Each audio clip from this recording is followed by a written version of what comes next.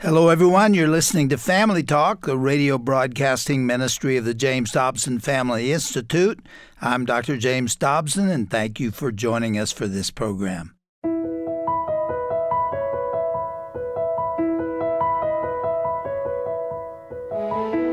Well, hello, and welcome to Family Talk, hosted by psychologist and best selling author Dr. James Dobson.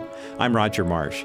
Today, you will hear the second installment of Dr. Dobson's conversation with Sharon Hersh as the two will talk about how parents, specifically mothers, can connect with their teenage daughters and guide them through the trying times of adolescence. Let's listen now to part two of our conversation on navigating your teen's emotional storms, right here on Dr. James Dobson's Family Talk.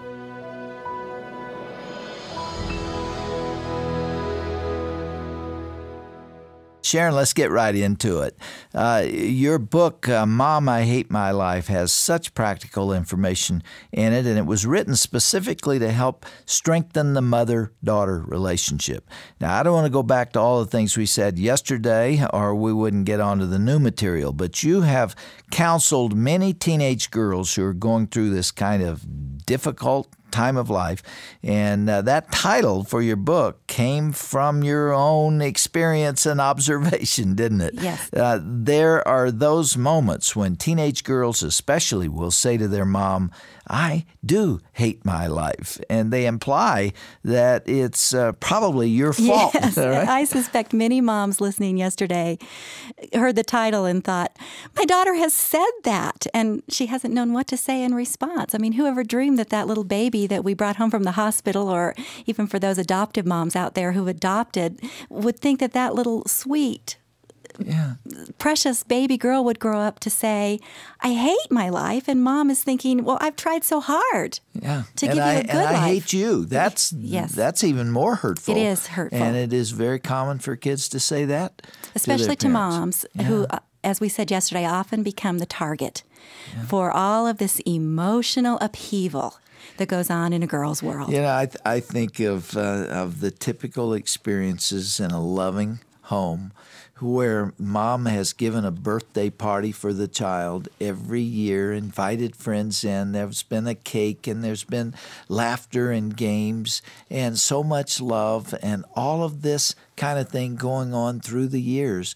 And suddenly that individual, that child, turns 13 and says, I hate you. It's it makes no sense at all. It doesn't And it sense. sticks in the heart, doesn't it? And there is so much about the adolescent girl's world that doesn't make sense unless moms will take a minute in the midst of the emotional chaos to remember what it was like to be female. And sometimes that can be helpful for moms to go back and remember what they felt like when they wanted to belong and they maybe were coming to a new school or they had a boy that they were interested in and how they dealt with their own emotional life sometimes can be powerful in connecting them with their daughters. Okay, at the end of the program last time, we uh, promised to talk about specifics and Yes. get some advice from you on how parents can can deal with uh, these circumstances that unfortunately are very, very common today. Uh, the the first one I want to talk about is um, is the high incidence of eating disorders that are out there. Uh, it is a national epidemic. It is, and I would say further that if a girl is not struggling with a specific eating disorder, that to be growing up female in America today is to struggle with body image. And so every teenage girl at times feels fat, does not like the way that she looks or was designed or that her body is structured. And that becomes the fertile ground when you combine it with all this emotional angst that we're talking about for eating disorders to develop. And so, moms who are listening, take a deep breath. As we talk about some of the specific warning signs for these disorders, you don't have to close your eyes and look the other way in fear. In fact, that anxiety will immobilize you. And so, when our daughters say, Mom, I hate my life. Mom, I feel fat. Mom, I hate myself. And we're tempted to roll our eyes and to think, oh, brother, you have everything. You have nothing to complain about. We miss an opportunity to get at what is beneath the surface. What's which is- usually down there? and what's usually down there is two things. First of all, I want to belong. Yeah. Especially as females, I believe we were made, designed um, with a design to connect. Um, we were born into relationship, created for relationship. And uh, teenage girls, when they come to see me and they begin to read their poetry to me and talk about their angst, almost immediately I begin to hear these themes of I don't fit in, I don't belong, I'm not with the popular kids, I don't have a boyfriend. What they don't know is that every teenage girl feels the, the exact same thing. Yeah. So letting our daughters express that though, without telling them, "Well, of course you belong. You have this friend, and you have youth group, and um, you're a part of this soccer team." Letting them express how they feel. And maybe even this is where we as moms have this powerful connection where we can say, you know, I know what it's like to go into a new church or a new Sunday school class and, and want to make friends and want to connect with someone. Or I remember when I was in college or when I was in high school and I was trying to make friends and I made some bad choices because I was so desperate for friends. We can affirm their need to belong and let them talk about it and get those emotions out. You see, eating disorders develop when emotions go underground. And that's the second component is that girls somehow feel ashamed or shut down or unable to express themselves. And so food becomes a soother, a companion, a medicator, a weapon. or a weapon sometimes. I'm not going to eat. I'm yeah. going to be in mm-hmm. control. I'm not going to feel things. All along the spectrum of the eating disorders, eating disorders have to do with emotional expression. All right, help parents recognize the symptoms of it yes. um, because it can happen right around you. It's always a shock you know, and, and it shouldn't be really because there are certain characteristics and there are certain physical changes and things that people should recognize, but talk about. And, and depending which eating disorder you're talking about, if you're talking about bulimia or anorexia, anorexia is where you starve yourself, and bulimia is a disorder where you may binge and then purge. Mm. You're going to look vomiting yes, deliberately. You're going to look for a girl who maybe for a special event or for summer camp or to get into a bathing suit goes on a diet diet. And she gets a sense ah, this is where I can have some control, some power. And then, if she does not have a healthy emotional life and is not communicating and expressing things, this is where it can all go haywire where she can begin to think, you know, maybe if I don't eat anything, then I'll really get skinny. And she discovers when she doesn't eat anything or she begins to push aside food on her plate, or maybe she'll only eat certain foods, or she won't eat but one meal a day, or you'll notice that she's drinking a lot of water or exercising a lot. You're dealing with more anorexic behaviors. Yes. And um, the time to intervene in an eating disorder is when you first start to see something. I hear moms say, Well, I didn't want to say, I was afraid to say something because I didn't want to plant the idea in her head. If your daughter is in the culture today, the idea is already in her head. And she is talking about it. She's talking about it with her peers. Teenage girls bond over talking about their diets and their bodies and their exercise. How far better for them to be able to talk about it with their moms. And I encourage moms to say, I've noticed something. I've noticed that you're not eating, or I've noticed that you're going to the bathroom after every meal. If I suspect there's an eating disorder going on here, because mom is saying, I know about eating disorders. Yeah. If I suspect something, Uh, then you need to know that I'm going to be finding us a counselor to talk about, and we're going to be talking about these things. I will not turn my head the other way while you get a full blown eating disorder. Leave me alone, Mom. It's my life. It's none of your business. I'll eat what I want to, and I'm not going to listen to you. So get off my case. And let me talk back to you and say, yeah. in some ways, you can eat what you want but I am not going to look the other way. I love you too much to ignore things that I know could be potentially dangerous. And this is where moms, once again, have a power because really to be female in America is to struggle with body image. And so we can say to our daughters, listen, I know what it's like. I resent like. that, by the way. yeah, I really do. do. I resent a culture yeah. that takes these vulnerable kids, as you mm-hmm. said, uh, girls are born into relationship. That is extremely important to them.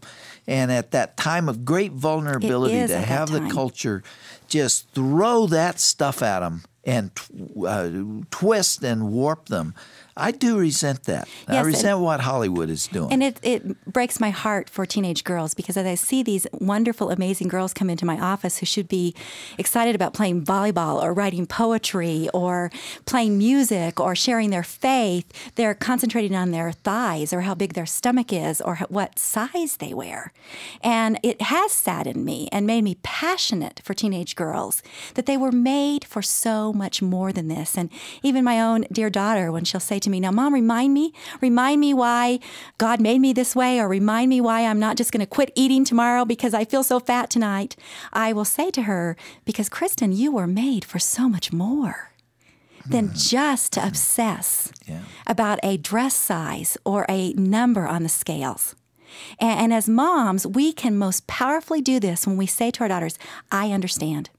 I've been on a diet. I've thought I was fat. I can see how you would get obsessed. And I can also see how it can take you down destructive paths. I'm not going to turn the other way while this happens. Now, um, if you have this continuing conflict over food, you see it coming, the child will not respond to you. You do seek out help. Where do you go to find it? Especially in this field of eating disorders, it's so important, Dr. Dobson, to talk to a counselor who involves, if not the family, at least the mother in the counseling. I have seen so many teenage girls in my practice who have gone through some eating disorder counseling, and they maybe leave the counseling without the eating disorder, but they hate their parents. And their mom has become the blame for everything. And what's unfortunate about that is the counselor is not there when it's her birthday or when she needs help with her homework or when her heart is broken over a boy. It's mom who's there. And that relationship needs to be healed and restored. So look for a counselor that works with mother daughter. You're one of them. I am. And I have seen powerful healing, especially in the realm of eating disorders, as that relationship is healed. And, and then you can also talk to other people in your church, in your school, whose daughters who've maybe gone through similar things. This means, moms, we have to be able to be courageous, tell the truth about some of our Oh, struggles. that's a hard one. It there. is. They don't want to admit it. I mean, the people will hide this when they won't hide anything else. If their kids are going through this kind of adolescent rebellion, every impulse is to keep quiet about it. It is. And I think that's because we have maybe taken things too personally or believe we're too responsible for the outcome of our children's lives. But we suffer and our children suffer as well. It is a wonderful model to our children that when we are struggling, we get help. And so I encourage moms whose daughters may yell like you did in our little role play and who may want nothing to do with counseling to say, We need help. Make it about the two of you. And say, even some moms I've, I've heard say to their daughters, okay, I'm going to go even if you don't go. I'm going to find out some things so that we can begin to make some changes in our family. Uh, on some occasions, you need to seek out a physician, don't you? Absolutely, uh, depending where you are on the continuum of eating disorders. And this can maybe lead us into the next subject of talking about depression. Studies have really confirmed that often when girls are treated for depression, their eating disorders go away. Hmm. And so, seeking a good physician who understands adolescence and understands eating disorders, or a psychiatrist who specializes in adolescent girls, can sometimes help get to the root of some of these emotional issues that we've been talking about. And that can help with some of the acting out that our girls do with eating hmm. disorders or self mutilation, cutting themselves. All right, I want to make sure we cover some of those other topics. Uh, I mentioned last time that I wanted to talk to you about um, conflict between mothers and daughters with regard to clothing. Yes. Uh, kids uh, tend to want to be very uh, suggestive today. They want to show as much skin as possible, and that's what their friends are doing. And it drives the mother crazy because she knows that's not only wrong, but that it leads to behavior that's harmful. Uh, and she just says, you know, I, you think you're going to tell me everything to do in my life? You can't. You're trying to tell me even what to wear. You know, this is my life. This is not your life. You've heard all this before. I have, and I, I think of moms out there who are really well meaning and trying to control the situation. And so they go into their daughter's room and they look through everything and they pull out everything they don't like. Or they look through her backpack and discover that she's taking one outfit to school to wear and she's wearing something else at home. And um, I understand that this is disturbing behavior and that especially sometimes when we as parents are maybe too focused on the outward appearance as well because we parents have peer pressure too. Sure do. Um, we get so entangled in some of our daughters' fads of the moment that we create a power struggle in which most adolescent power struggles, the parents lose. Yeah. And so I encourage moms with regard to the clothing. Obviously, you're going to have standards in your home and you have to understand your child because every girl is different, the reasons why she's attracted to a certain behavior. I encourage moms, I know this is hard, and this is where you need other moms to talk to. If you can develop a sense of humor, about some of this as well. It does not come down as such swooping control because when moms are calling and telling me they're so distressed because their daughter wants to wear a low cut shirt, I, I know their distress is real. But if they make this the battle that they want to bleed and die in, um, there are going to be battles down the road. And so to show your daughter that you can be an ally. I remember when the whole belly bearing craze began. Yeah. And my daughter was certainly interested in um, showing off her belly button. And I remember saying to her, we went look through a magazine. And I said, look at, let's count all of the bellies that we see in this magazine. And we probably counted uh, 36 in one magazine. And I said, What is the big deal with this? I don't understand it. And and my daughter just said, Well, I guess, Mom, if you look good, you want everybody to know it. And I so I said, Well, let's let's go into my closet. And I said, I think maybe I'm going to start dressing this way. She was about 13 and her eyes got don't really you big. dare, Mom. And um, we both decided that I would not look good in that style. But I, I think it kind of lightened the moment and um, allowed her to know I am going to give you some guidance and direction here with regard to dress, but you know what what you do when you get to school I don't have control over. Yeah. And I would rather us have a relationship in which we can talk about these things. I, am watching that clock and I'm really concerned because there's so many things that we need to talk about. You have discussed that in your in your book. Yes, and, and um, "Mom, I Hate My Life" is the name of it. It's published by Shaw, and we're talking to Sharon Hersh. Uh, say what you're about to say. And for moms who are thinking, "Does my daughter have bulimia? Does she have anorexia? Is she um, depressed?"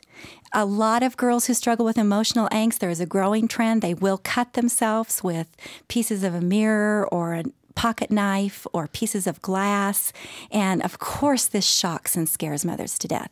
Get the book, it, it gives you all the indicators, right, things this, to this look for. This is one we really need to uh, focus on because. Okay. Uh, it, it, makes absolutely no sense to anybody. Uh, why it, would a kid who wants to be uh, accepted, why would a teenager uh, want to do something to permanently disfigure herself uh, in the way that's occurring. I mean, uh, putting a a tongue ring in the middle of the tongue, mm-hmm. where every word you say is affected by. That is absolutely irrational kids are doing this kind of stuff today. And the cutting, really, I, I will say to moms who call me desperate, it's the most desperate phone call I get, just about. I've discovered that my daughter is cutting. She has scars on her arm. She's carved a word or a design into her arm or her thigh. And of course, mothers are scared to death. Um, just as eating disorders are about emotional expression, cutting is totally about emotional expression. It's a girl saying sometimes um, what you just said I don't belong, I don't fit in. And because I cannot find a way to be accepted in this culture of appearance obsession, I'm going to go ahead and show my anger and frustration with this culture and with my peers who are so harsh and cruel by cutting myself.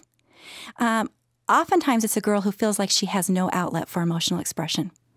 Um, some of these girls have told me they're in their bedroom by eight o'clock at night. Their parents are watching TV. Um, they may be like most of the families of adolescents in America, where there are eight minutes of meaningful interaction a day. Well, girls need a lot more interaction than that. We have a lot of words inside of us. Where do you start as a counselor to reach a kid like that? I get her to talk about what's going on in her inner world. And I will say to her, go home and write down everything that you're angry about, everything that you feel like has been taken from you that you're upset about. And mom sometimes will look at me and say, You want her to focus on her negative feelings? We want her to get out of them.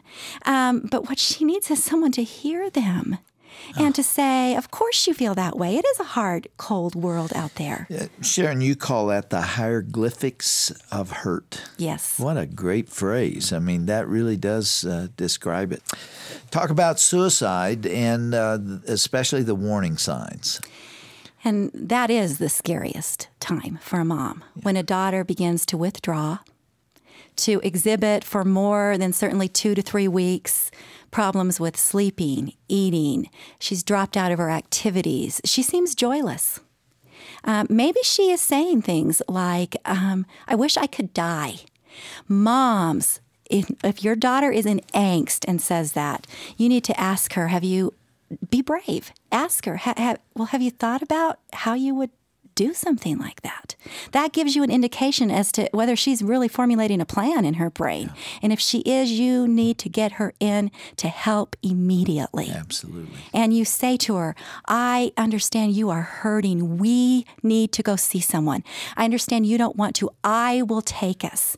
And I promise you that I will be there for you and support you. But this is going to be something we are going to walk through together. Big, big problem. One in five teens considers suicide. Yes. Fortunately, most don't do it, but the one in five does. That's 20%. That is scary.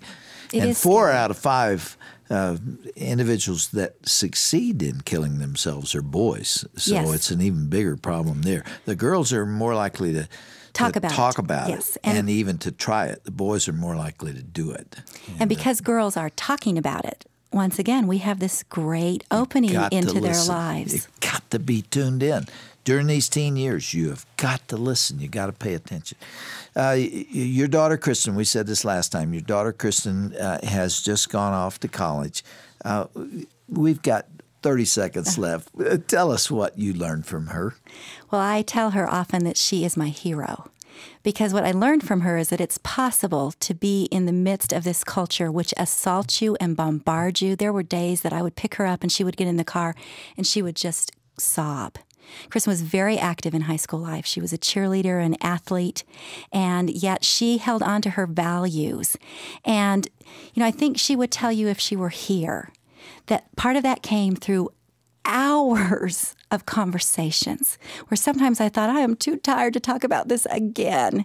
And yet now, as um, she's on her way, I would take a thousand more hours for those conversations if I had them. And you couldn't get one more of them. You couldn't hmm. retrieve anything hmm. from childhood. Hmm. You know, your record's in the books. and apparently you did the job very, very well. Our guest is Sharon A. Hersh. She is the author of the book Mom, I Hate My Life Becoming Your Daughter's Ally Through the Emotional Ups and Downs of Adolescence. This is a good book for the parents of teens, and I do recommend it. And uh, Sharon, thank you for two wonderful programs. You did a great job. Thank Appreciate you you being here having me. today. It's a pleasure to get acquainted with you. And uh, I'm sure we'll talk to you again uh, when you write your next book. Thanks, Dr. Dobson. God bless you, friend. You love the Lord, don't you? Yes, Yeah, and that got you through too. it did. Oh, nothing more than that. Uh-huh. well, it's a pleasure to have you here. Thank you.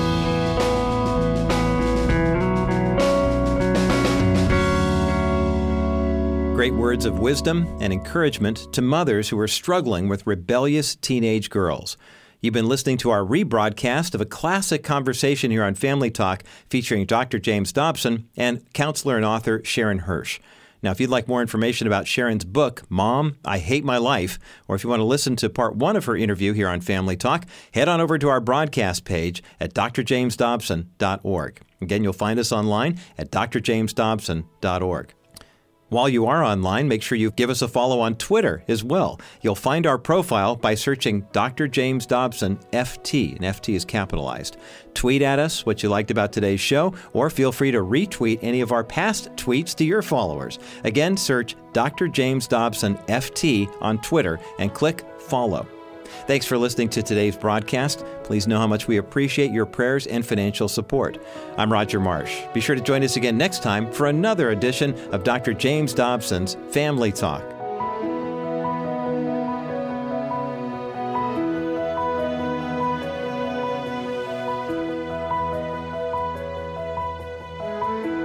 This has been a presentation of the Dr. James Dobson Family Institute. Hey everyone, this is Dr. Tim Clinton with the James Dobson Family Institute. You want a quick and easy way to listen to Family Talk? Well, hey, we're excited to tell you how you can catch our daily broadcast on Amazon Alexa. That's right, Amazon Alexa. This hands free smart device allows you to hear myself and Dr. Dobson while you go around your daily routine. Once you enable the Family Talk skill, say, Alexa, play today's broadcast of Family Talk. It's as effortless as that. Learn how you can set up Family Talk on your Amazon Alexa by visiting drjamesdobson.org forward slash Alexa. That's drjamesdobson.org forward slash Alexa. Hey everyone, Roger Marsh here. When you think about your family and where they will be when you're no longer living, are you worried? Are you confident? Are you hopeful? What kind of legacy are you leaving for your children and their children? Here at Family Talk, we're committed to helping you understand the legacy that you're leaving for your family. Join us today at drjamesdobson.org for helpful insights, tips, and advice from Dr. James Dobson himself. And remember, your legacy matters.